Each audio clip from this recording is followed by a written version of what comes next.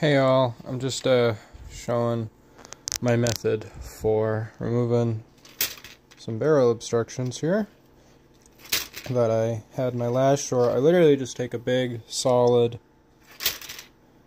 uh, cleaning rod and just continuously drop it down the bore and you might think that's kind of ridiculous but it's honestly a pretty good slide hammer.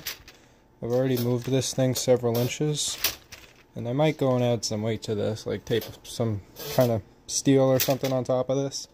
And uh, we should knock this obstruction in this Vetterli right down out of the barrel. I got it out. Uh, this is kind of gross. I don't know what this is.